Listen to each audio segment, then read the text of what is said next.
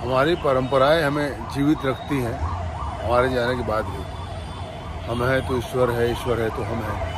हम ही हैं जो ईश्वर बचा प्रसार करते हैं, हम ही ईश्वर की परंपराओं का पालन करते हैं, आने वाले नस्लों के माध्यम से, अपने कर्म के माध्यम से, अपनी सनातनता के माध्यम से, अपने प्रेरणा, अपनी पूजा, अपनी श्रद्धा के माध्यम से।